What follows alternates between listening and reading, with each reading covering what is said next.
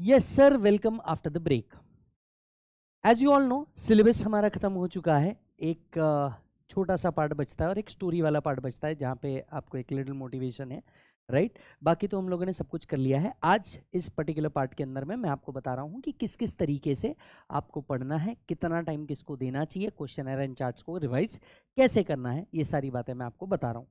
ठीक है? अब एक बात समझ के चलो। हम सबसे पहले क्या करते हैं? डिस्कस करते हैं एक ए बी सी एनालिसिस तो सबसे पहले मैं आपको दे रहा हूँ ए बी सी एनालिसिस मालिक A B C analysis D T N international tax C A final and C M A finals for the of May twenty 24. ये और और जून 24 अटैम्प्ट के लिए। तो जितने भी बच्चे मई 24 जून 24 वाले हैं, उनके लिए ये एबीसी एनालिसिस है। मोटे मोटे तौर पे नवंबर के लिए भी यही रहेगा बट नवंबर के लिए मैं फिर से अलग से निकाल दूँगा। अब एबीसी एनालिसिस का मतलब क्या होता है कि भैया, जो एक्सट्रीमली इंपॉर्टेंट टॉपिक है यस मतलब जो आएँगे ही आएँगे, और दूसरे नॉट सो इंपॉर्टेंट है, पर उसमें से भी कुछ चीज़ें आएँगी। तो मैं टॉपिक वाइज आपको अलग अलग कर देता हूँ राइट टॉपिक वाइज मैं आपको अलग अलग कर देता हूँ। सबसे पहले, जो इंपॉर्टेंट पार्ट में लिख रहा हूँ मतलब मान के चलो कि आपका मोटे मोटे तौर पे जो पेपर आएगा, वो तो इसी से बनने वाला है। जो मोटे मोटे तौर पे पेपर आएगा, वो आपका इसी से बनेगा। तो सबसे पहले हम बात करते हैं टैक्स कैलकुलेशन की। जी हाँ मैं टैक्स कैलकुलेशन की अगर बात करूँ तो आपके लिए सबसे इंपॉर्टेंट एक्सट्रीमली इंपॉर्टेंट इस बार hundred and fifteen B A C B A D B A E B A E बिल्कुल एक्सट्रीमली न्यू है तो इसके आने के चांसेस ज़्यादा है। बी ए सी आने के चांसेस है बी ए बी आने के चांसेस है राइट तो मुझे लगता है कि ये सारी चीज़ें आपको पूछी जा सकती है। आपको नॉर्मल टैक्स तो आना ही चाहिए, और सरचार्ज से रिलेटेड क्वेश्चन आपको आ सकता है। यस तो बेसिक टैक्स कैलकुलेशन में इतना पढ़ के जाना।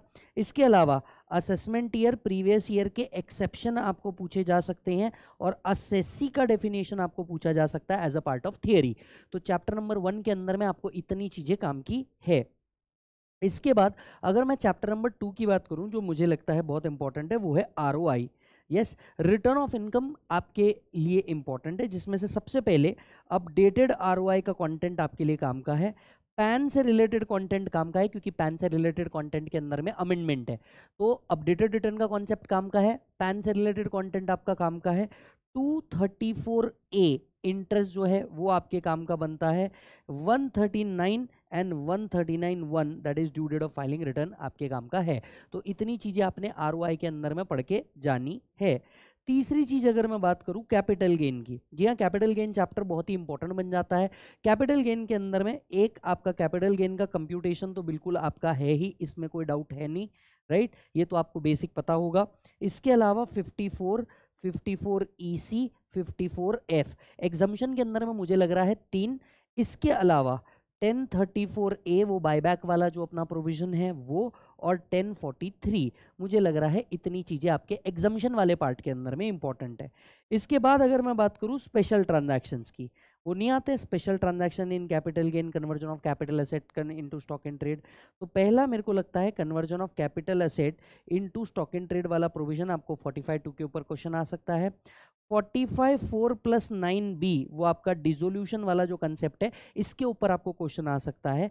50 B that is slump sale वाले कंटेंट के ऊपर आपको क्वेश्चन आ सकता है राइट स्लम सेल वाला जो कंटेंट है, उसके ऊपर आपको क्वेश्चन आ सकता है। 50 C and 50 double A fifty C मतलब वो आपका फुल वैल्यू ऑफ़ कंसिडरेशन कैसे डिटरमाइन करते वो हर क्वेश्चन में एडजस्टमेंट रहता ही रहता है। एंड फिफ्टी डबल ए इस बार you know units of mutual fund को लेकर के एडजस्टमेंट्स है तो वो आ सकता है। Fifty one forfeiture of advance को लेकर के पॉइंट है तो वो आपको आ सकता है। तो मतलब कैपिटल गेन में मुझे लगता है मोटे मोटे तौर पर इतना ट्रांजेक्शन आपको पूछा जा सकता है। यस yes, इतना ट्रांजेक्शन आपको पूछा जा सकता है। कैपिटल गेन के बाद आपका नेक्स्ट चैप्टर बनता है भाई साहब पीजीबीपी पीजीबीपी के अंदर में मैं ऑब्वियसली एक्सपेक्ट कर रहा हूँ टोटल इनकम मतलब टोटल इनकम वाला जो क्वेश्चन होगा, ये पीजीबीपी के साथ मिक्स करके आपको दिया जाएगा। इसके अलावा section thirty two thirty two one two A that is additional depreciation वाला कंसेप्ट मुझे लगता है इस बार आपको एक डेप्रीसिएशन का कंसेप्ट दिया जाएगा, जहाँ पे आपको ये टेस्ट किया जाएगा दैट डेप्रीसिएशन तो 115 बीएसई में अवेलेबल है एडिशनल डेप्रीसिएशन अवेलेबल नहीं है. तो आपको विथ 115 सी विदाउट 115 बीएसई पे एक क्वेश्चन आ सकता है. ठीक उसी तरीके से सेक्शन 35 मतलब साइंटिफिक रिसर्च यहाँ पे भी इन हाउस रिसर्च जो है, वो तो 115 बीएससी में भी मिल जाता है, पर डोनेशन टू अदर नहीं मिलता। तो एक क्वेश्चन ऐसा एक्सपेक्ट कर रहा हूँ विथ बीएससी विदाउट बीएससी वाला। एक क्वेश्चन यहाँ पे एक्सपेक्टेड है। फिर आता है आपका 35 एडी ये तो ऑप्शन जो आपको मिलेगा, ये ऑप्टिंग आउट वाला ही मिलेगा। तो ये ऑप्शन आपको पूछा जा सकता है। 41 वन का रेफरेंस हो सकता है 43 बी का एमएसएमई वाला कंटेंट आया है। यस एमएसएमई वाले पार्ट का एक अमेंडमेंट आया है, वो आपको पूछा जा सकता है 43 बी के अंदर में। यस इसके अलावा 37 के अंदर में आपको अमेंडमेंट आया है। याद करो क्या compounding of offence in India outside India yes अगर आप दे रहे हो लेकिन दूसरा वाला इसे लॉ के हिसाब से एक्सेप्ट नहीं कर सकता तो वो भी डिसअलाउ करना पड़ेगा। फिर एक सेक्शन 28 के अंदर का, जो गिफ्ट वाला प्रोविज़न है रीड विथ 194 आर का एक कंबाइंड क्वेश्चन में एक्सपेक्ट कर रहा हूँ। मतलब किसी बिज़नेस को गिफ्ट मिला परक्विजिट मिला इन बिज़नेस और सामने वाला देते वक्त उसे टीडीएस डिडक्ट करेगा। तो ऐसा एक क्वेश्चन कंबाइंड वाला मैं एक्सपेक्ट करके चल रहा हूँ। यस अदरवाइज़ मैं सेक्शन 28 को इंपॉर्टेंट में रखता नहीं हूँ पर इस बार मुझे ऐसा लग रहा है कि सेक्शन 28 में आपको इनकम करके टीडीएस के साथ जोड़ करके एक क्वेश्चन दिया जा सकता है। यस yes, इसके अलावा इसके अलावा एक फ़िल्म प्रोड्यूसर का कंसेप्ट देख करके जाइएगा कि एक्सपेंसेस कैसे बुक किए जाएँगे। स्पेशली ओटीटी से रिलेटेड एक क्वेश्चन आ सकता है। काफ़ी टाइम हो गया, इसके ऊपर क्वेश्चन नहीं आया है तो आपको एक क्वेश्चन इसके ऊपर बन सकता है।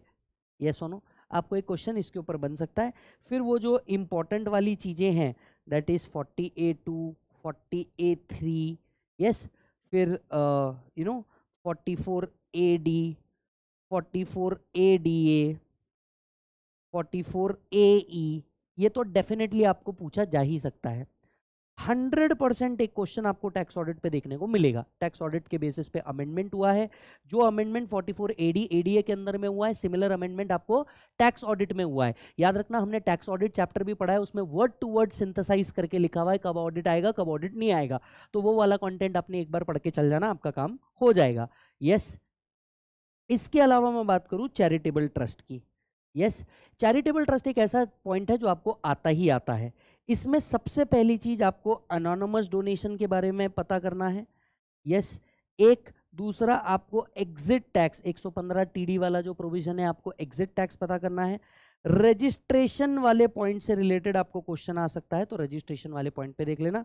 इसमें सबसे इंपॉर्टेंट एक जनरल क्वेश्चन आ सकता है, और जनरल क्वेश्चन में भी what can be treated as application और नॉट, इसके ऊपर क्वेश्चन आ सकता है, क्योंकि एप्लीकेशन में क्या एप्लीकेशन नहीं माना जाएगा, इस पर अमेंडमेंट है कि हाँ यू नो लोन के अमाउंट से आपने कोई एसेट एक्वायर किया है तो आप उसको नहीं मान सकते, हालाँकि आप रीपे कर देते हो, फिर इलेवन फाइव से कुछ किया होगा तो आप उसको नहीं मान सकते हो, हालाँकि आप डिपॉजिट रीडिपॉजिट कर देते हो, वो वाले पार्ट नए आए हुए हैं तो वो आपको आ सकता है।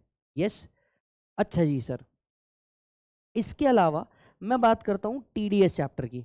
टीडीएस टीसीएस चैप्टर के अंदर में सबसे पहला क्वेश्चन मैं एक्सपेक्ट कर रहा हूँ टीसीएस पे 206 सी वन एच के ऊपर। यस मुझे लगता है one G one F and one H TCS में इन तीन के ऊपर क्वेश्चन आ सकता है क्योंकि अमेंडमेंट है। तो मैं टीडीएस से ज़्यादा टीसीएस में क्वेश्चन एक्सपेक्ट कर रहा हूँ इस बार।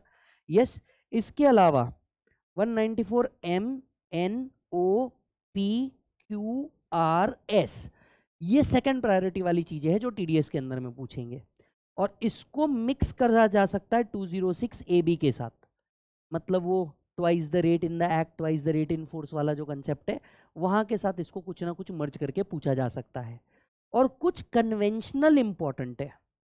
कुछ तो कन्वेंशनल इंपॉर्टेंट है मतलब जो हमेशा से पूछे आए हैं एग्जामिनर का फेवरेट पार्ट रहा है C H I J A I A yes C H I J A I A ये वो वाले पार्ट है जो आपको कन्वेंशनली बहुत ज़्यादा पूछे गए हैं। मतलब आप क्वेश्चन उठा के देखोगे, इन पे मैक्सिमम क्वेश्चन आपको देखने को मिल जाएँगे।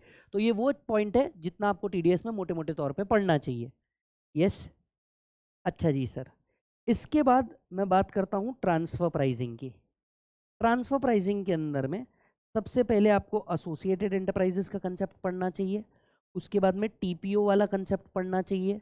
उसके बाद में एडवांस प्राइसिंग अग्रीमेंट में आपको रोल बैक वाला प्रोविज़न पढ़ना चाहिए।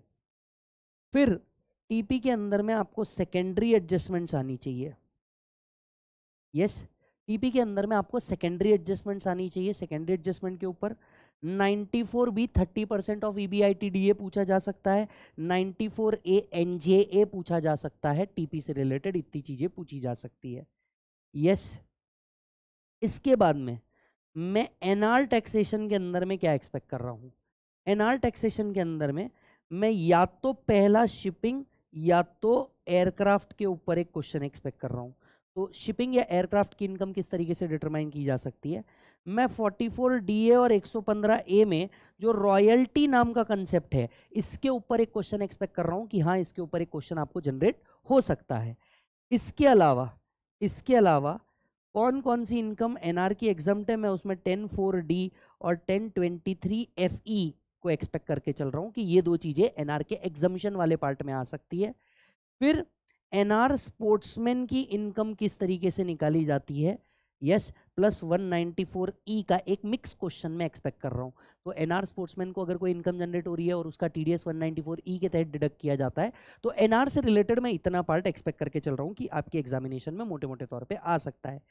टी के अंदर में एक ही चीज़ पढ़ना, एक 90 के अंदर का प्रोविज़न सेंट्रल गवर्नमेंट का पावर प्लस दूसरी चीज़ जो आपको आ सकता है डी के अंदर में, भैया देर इज़ नो डी तो अब बताओ कितना रिलीफ मिलेगा।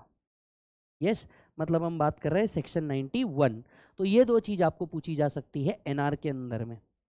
बराबर? डी टी डब्ल्यू के स्पेसिफिक टॉपिक के अंदर में। अच्छा मॉडल टैक्स कन्वेंशन की अगर मैं बात करूँ मॉडल टैक्स कन्वेंशन आपको दिया गया था कि भैया किसके अंदर में क्या होना चाहिए? Model tax convention interpretation of tax treaty interpretation of tax treaty और बेप्स गाइडलाइन अगर मैं इन सबको मिला दूँ तो मेरे को जो लगता है, वो लगता है एक्सटर्नल एड टू इंटरप्रिटेशन पढ़ के जाना। वैसे मैंने जितने लोगों ने अपने से क्लास लगाई है, उनको already topic by topic important not important already बताया है। स्टिल जिनने क्लास नहीं लगाई बट मेरे को ऐसा लगता है कि आपको ये पढ़ के जाना चाहिए। एक्सटर्नल एड टू इंटरप्रिटेशन आपको पढ़ के जाना चाहिए। उसके बाद में वियाना कन्वेंशन आपको पढ़ के जाना चाहिए। वियाना कन्वेंशन के जो आर्टिकल है आपको वो पढ़ के जाना चाहिए। उसके बाद में आपको पीई वाला आर्टिकल पढ़ना है बिज़नेस प्रॉफिट वाला आर्टिकल पढ़ना है। Independent professional service independent professional service वाला आर्टिकल आपको पढ़ना है एंड इसके अलावा इसके अलावा म्यूचुअल अग्रीड प्रोसीजर वाला पॉइंट आपको पढ़ के जाना है। तो मेरे को लगता है इन तीन चैप्टर से, उसके बाद में बेप्स की अगर मैं बात करूँ तो बेप्स को आपको याद है, उन्होंने क्या दिए थे? कुछ हमें एक्शन प्लान दिए थे। तो एक्शन प्लान की अगर मैं बात करूँ तो action plan number one action plan number five action plan number twelve आपको ये तीन एक्शन प्लान मेरे हिसाब से पढ़ के जाने चाहिए। तो इन चैप्टर्स में से इतना भी पढ़ लिया तो काफ़ी हो जाएगा और कुछ करने की ज़रूरत नहीं पड़ेगी। रेसिडेंशियल स्टेटस की मैं बात कर लेता हूँ which is a part of NR taxation यहाँ सिक्स आ सकता है सिक्स वन ए आ सकता है। सेक्शन नाइन की अगर मैं बात करूँ तो चार चीज़ें पूछी जा सकती है। पहला बिज़नेस कनेक्शन दूसरा इंटरेस्ट तीसरा रॉयल्टी और चौथा एफटीएस याद आ रहा है क्या? तो इतनी ही चीज़ें आपको पूछी जा सकती है रेसिडेंशियल स्टेटस में, इतना पढ़ के चल जाना। वो पोएम वोएम का अबॉय वाला कंडीशन बस एक बार देख के चल जाना। तो जो आपका पोएम है पोएम में जो आपकी अबॉय के कंडीशन है, वो एक बार देख करके चल जाना, काम हो जाएगा। बराबर? When it comes to penalty when it comes to penalty penalty के अंदर में आपने 270 A under reporting misreporting की पेनल्टी पढ़नी है plus 276 C plus 276 C C right plus two seventy one B plus TP related penalty आपको पढ़ के जानी है। इस पेनल्टी के अलावा कोई भी पेनल्टी मत पढ़ना। लगभग चांस ले सकते हो पेनल्टी में। लगभग आप मान करके चलो आप चांस ले सकते हो पेनल्टी में। When it comes to I F O S आपने गिफ्ट का प्रोविज़न पढ़ना है क्योंकि गिफ्ट के प्रोविज़न के एक्सेप्शन वाले पार्ट में अमेंडमेंट आया है। यस yes, प्लस आपको डिविडेंड नाम का कंसेप्ट पढ़ना है plus L I P taxation याद होगा तो हम लोगों ने एलआईपी टैक्सेशन पढ़ा था। एलआईपी टैक्सेशन में अमेंडमेंट आया है और यूलिप वाला पार्ट भी आपको पढ़ के जाना है। इसमें भी अमेंडमेंट आया था। यस तो ये आपको चार से पाँच चीज़ें आपको पढ़ करके जानी है किसके अंदर में? आई के अंदर में। ठीक है?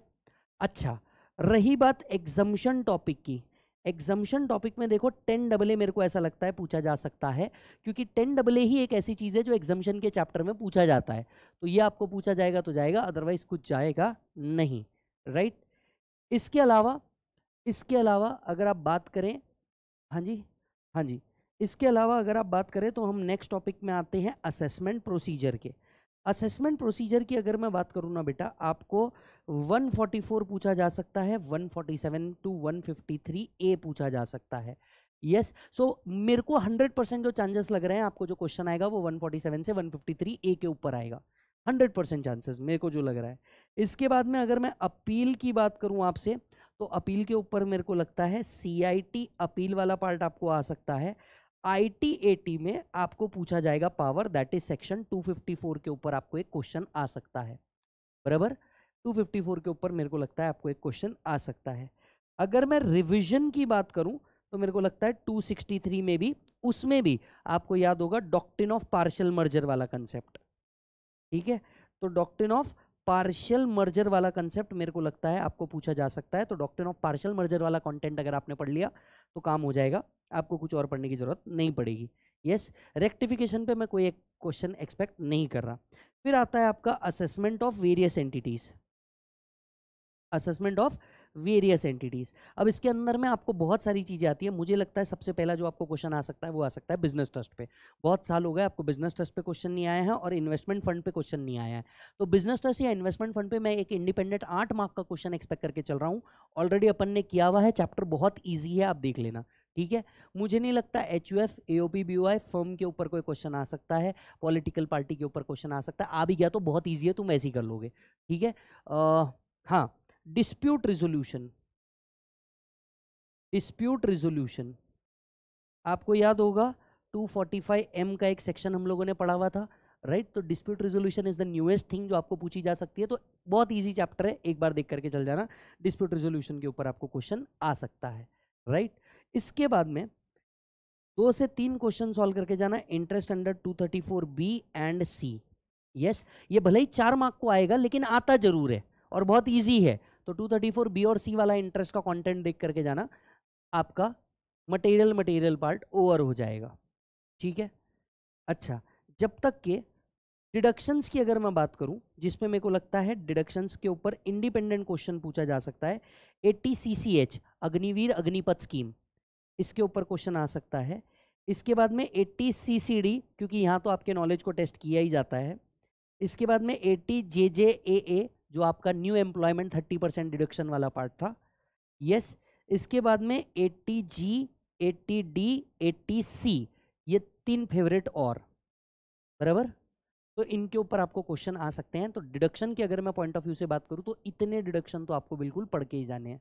यस इतने डिडक्शन आपके एग्ज़ाम पॉइंट ऑफ़ व्यू से काम के हैं। अच्छा जी सर, अब अगर मैं आता हूँ, अगर मैं आता हूँ, कुछ नॉट इंपॉर्टेंट टॉपिक में से भी आपको कुछ बताना चाहूँ ठीक है? नॉट सो इंपॉर्टेंट बट क्या क्या आ सकता है? सबसे पहला चैप्टर बनता है एग्री देखो, आप मोटे मोटे तौर पे इतना भी करके चल जाओगे ना तो हो जाएगा, क्योंकि एग्ज़ाम में आपको सिलेक्टिव स्टडी करना पड़ेगा। तो एग्रीकल्चर जो टॉपिक है आपका एग्रीकल्चर टॉपिक के अंदर में आप कंपोजिट इनकम देख लेना। यस मतलब वो टी कॉफ़ी रबर का परसेंटेज वाला पॉइंट यस और अदर कंपोजिट इनकम जो निकलता है वो। प्लस साथ साथ में method of aggregation method of aggregation तो एग्रीकल्चर में सिर्फ़ दो पार्ट पढ़ लोगे तो काफ़ी हो जाएगा, ठीक है? इसके अलावा मैं बात कर सकता हूँ क्लबिंग की तो क्लबिंग में आप सेक्शन 60 पढ़ लेना, transfer of income without transfer of asset, फिर 64 वन ए, माइनर का कॉन्सेप्ट पढ़ लेना, और इसके अलावा क्रॉस ट्रांसफ़र वाला प्रोविज़न पढ़ना है, और इसके अलावा गिफ्ट वाला प्रोविज़न पढ़ना है। हस्बैंड वाइफ को गिफ्ट देता है तो प्रोपोर्शनेट अमाउंट जो टैक्स की जाती है। ये चार कंसेप्ट आपने क्लबिंग में पढ़ लिया, आपका काम हो जाना है। देखिए, सेट ऑफ़ आपको आता है। लेकिन सेट ऑफ़ में एक जो यूनिक चीज़ पढ़नी है, वो मेरे को लगता है section seventy nine section 79 private company को सेट ऑफ़ कब अलाउड है? Yes yes? तो वो आपने पढ़ के जाना है। वो आपने क्या करना है? पढ़ के जाना है। इसके अलावा इसके अलावा, पता नहीं क्यों, पर दिल इस बार कह रहा है टैक्सेशन ऑफ़ बायबैक पे क्वेश्चन आ सकता है। बहुत वियर्ड है। यस अमलगमेशन डीमर्जर और बायबैक की अगर मैं बात करूँ तो बायबैक पे क्वेश्चन पूछ सकता है। वो आपको यहाँ पे कैपिटल गेन एंड एग्जाम्ट दोनों क्राइटेरिया पर डिसाइड कर सकता है इसके लिए। ये yes नो? तो यहाँ मेरे को लग रहा है कि हाँ चलो कुछ चीज़ें आ सकती है। अगर मैं बात करूँ एडवांस टैक्स की तो एडवांस टैक्स के अंदर में आपको सबसे पहले जो आ सकता है वो है ड्यू डेट वाला कंटेंट और इसके बाद आपको आ सकता है capital gain and casual income के केस में एडवांस टैक्स का क्या किया जाएगा। वो नहीं, ड्यू डेट के बाद जब भी अराइज हो तो उसके नेक्स्ट ड्यू डेट पे पे कर देना, कोई भी डेट ना मिले तो थर्टी फ़र्स्ट मार्च तो वो वाला कंटेंट मुझे ऐसा लगता है आपको पूछा जा सकता है। इसके अलावा इसके अलावा एडवांस रूलिंग एडवांस रूलिंग की अगर मैं बात करूँ तो आपको पूछे जा सकते हैं एडवांस रूलिंग के पावर क्या है और एडवांस रूलिंग अगर मुझे विड्रॉ करनी है तो और एडवांस रूलिंग की एप्लीकेबिलिटी मतलब जिसने लिया है उसके अलावा भी कोई ले सकता है क्या? यस? तो ये तीन पार्ट भी अगर आपने एडवांस रूलिंग में कर लिए, मुझे लगता है सफिशिएंट इनफ हो जाएगा, कुछ और करने की ज़रूरत नहीं पड़ेगा। यस इसके अलावा digital taxation is one such thing जो मेरे को लग रहा है सॉरी इंपॉर्टेंट में डालना है इसको। इंपॉर्टेंट में डालना है। यस इंपॉर्टेंट में डालना है VDA virtual digital taxation yes इससे रिलेटेड आपको जो प्रोविज़न आई है, ये आपको पूरी की पूरी पढ़नी है तो वीडीए का प्रोविज़न आपको पढ़ना है और इससे रिलेटेड टीडीएस का प्रोविज़न आपको पढ़ के जाना है। बराबर है? वीडीए पढ़ना है, इससे रिलेटेड टीडीएस का प्रोविज़न पढ़ के जाना है। इस साल दो चैप्टर ऐड हुए हैं, अगर आप ध्यान से देखेंगे तो। एक है आपका टैक्स ऑडिट तो मेरे को जो लगता है इनिशियली जो आपको पूछा जाएगा, वो टैक्स ऑडिट है, जो मैंने 44 एबी में कवर कर लिया। मेरे को नहीं लगता पहले ही साल साल में आपको कोई टैक्स ऑडिट का क्लॉज पूछ लेगा, क्योंकि ये न्यू अटेम्प्ट है। तो मेरे को नहीं लगता हाल फ़िलहाल में कोई क्लॉज आ जाएगा। क्लॉज अगर आ भी गया तो उसका रेफरेंस आपको दिया होगा, उतना ऑडिटर स्कोप लगा करके आप चेक कर सकते हैं। तो एक टैक्स ऑडिट आया है। दूसरा जो चैप्टर आया है latest development in international tax और तीसरा चैप्टर आया है आपको ब्लैक मनी क्या आया है? ब्लैक मनी तो मुझे लगता है आपको ब्लैक मनी से रिलेटेड एक क्वेश्चन देखने को मिल सकता है। ले देखिए वहाँ पे चार से पाँच ही क्वेश्चन है मॉड्यूल के अंदर में। अपन ने क्लास में सॉल्व भी करा हुआ है तो ब्लैक मनी आपने एक बार देख करके चले जाना। यस ये इंपॉर्टेंट के अंदर में है। हाँ जी।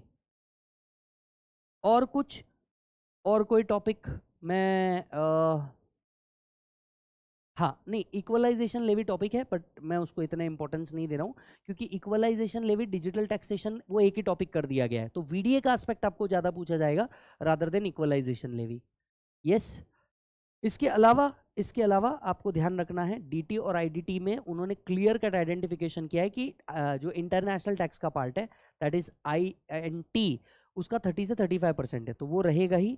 And don't forget don't forget कि एक बार आप क्या करेंगे, जुडिशियल अपडेट्स देख करके जाएँगे।